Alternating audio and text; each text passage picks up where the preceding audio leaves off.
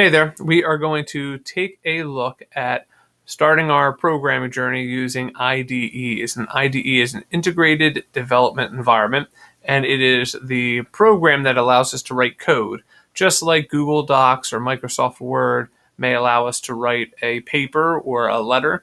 Uh, an IDE is a place that will put allow us not just to write code, but also check things like grammar and syntax uh, and allow us to run it. So we have a couple different options. and we're going to start with a web-based IDE. And the web-based IDE we are going to use is called REPL.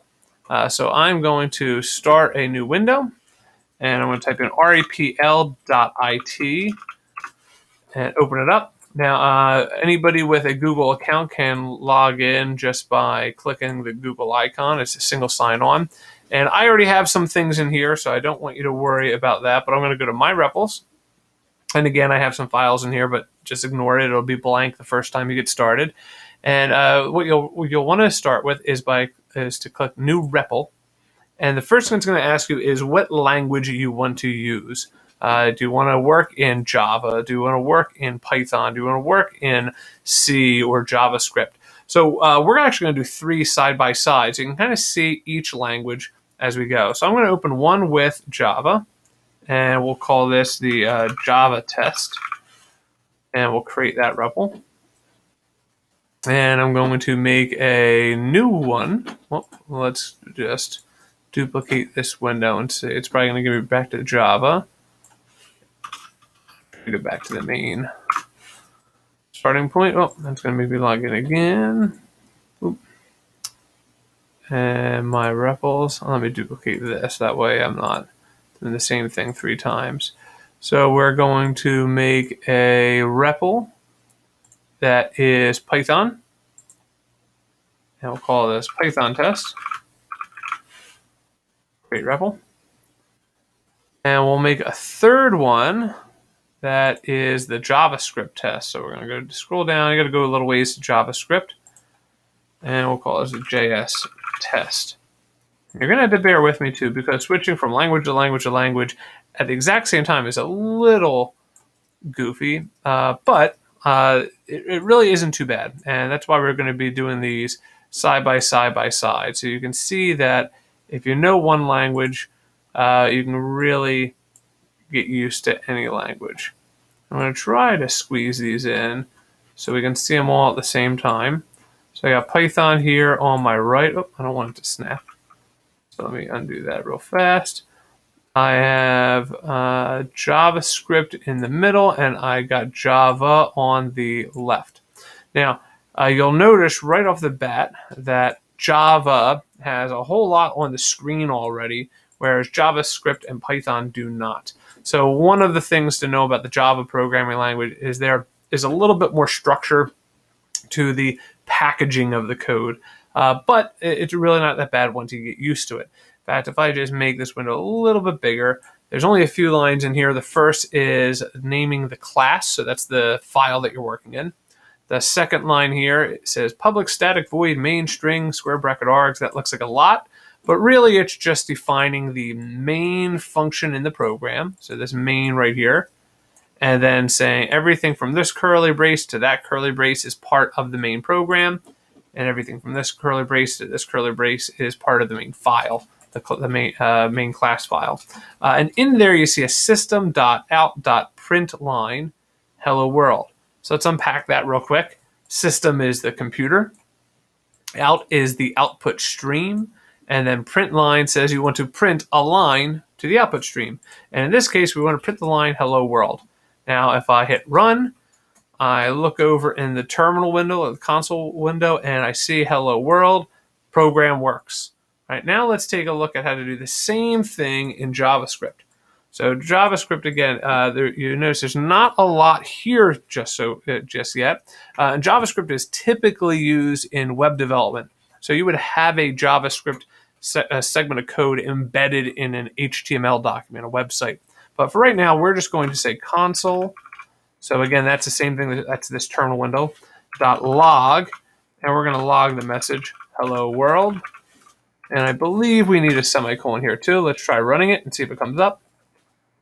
And there it is. All right, so we are able to print there. Now, you're looking at this and it looks a lot shorter than all that. But again, I just want to uh, impress upon you that uh, these couple lines look really uh, significant when you only have a one-line program. But in the scheme of things, uh, it's really not that, too, that bad. And especially when you're using JavaScript, typically you want to have this JavaScript embedded in a web page that is also going to have more code wrapped around it. Now let's look at our third example, Python. And I have to remind myself what uh, the print statement is for Python. I believe it's just print and then hello world in quotes. Uh, but now we will not use a semicolon. So Python is the most stripped down syntactically. And when we hit run, oh, nope, doesn't like that. I think, oh, is it a print colon? Let's see. We'll try that instead. Uh, it's thinking about it. No, it doesn't like that. Is it parentheses? It may be parentheses because it may be a function. Let's see. Third time's the charm. There we go. Okay. Like I said, switching between three languages at once is uh, uh, a little tough from a syntax point of view, but the concept is the same. In each of these three languages, we printed a simple message. But we're starting to talk about variables and how you use a variable in a programming language. A variable is simply just a name given to a piece of information. So, for example, instead of saying hello to the world, I may want to say hello to me. You know, have my computer greet me when I log on. So let's do that in each language. In Java, there are a couple parts to creating a variable. The first thing that you want, I'm going to put in what's called a, a comment. Uh, so this is a line that is ignored by the computer. And in uh, Java, you can do it with two slashes. So I'm going to put in a comment here that says uh, the, the parts of declaring and initializing a variable. So we first want to note the type. Then we want to have the name that we're going to give it. And if we're assigning a variable, we're going to have the assignment operator, operator followed by the value that we're assigning. Now that sounds like a lot, but if we are going to say something like my name, that would be text, and text in Java is referred to as strings or strings of characters. So I'm just going to write string with a capital S. Uh, the name I want to give this piece of information. So I'm going to call it maybe first name because I'm going to be referring to my own first name. And it's important, uh, number one, not to put a space between words that constitute a variable's name. That confuses the computer because now it thinks you're talking about multiple pieces of information. Instead, we can concatenate those words and uh, show the difference between them by using a capital letter. So in this case, I had first with a lowercase f and then name with a capital N. So uh, that it distinguishes between uh, you know first name as opposed to just a jumble of letters. Now the next thing I need is my assignment operator, which in Java is just an equal sign. And I'm going to write Kevin because that is my first name. And in Java, every line ends with a semicolon. So I'll throw a semicolon in there. And now what we could do is down in this message, instead of saying hello world, let's say hello. So we're going to print the message hello. And we're going to put in a plus sign to say add on to that string first name.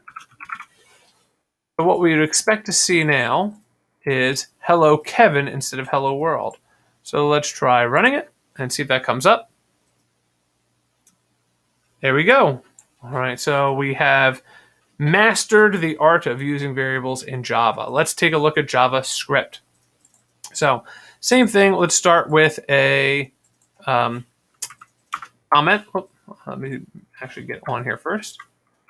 So we'll start with a comment, and I think it's also double slash in JavaScript. It is. So here we're going to uh, identify that we're creating a variable. So first it's just var. This is a little bit different than in Java. In Java, we're going to designate whether we're talking uh, or what type of variable we're talking about. So for example, a string of text or a number or a single letter or some other more complicated object we when we declare a variable, we describe the type right off the bat. In JavaScript, it's a little bit more dynamic. Which means we don't need to specify exactly what type of information we're referring to up front. We just say we're dealing with some type of variable. Uh, the next thing we need, again, is the name, the assignment operator, and then finally the value. So similarly, we're going to write, instead of string, we're just going to write var here for variable. Name, we can do the same thing, first name.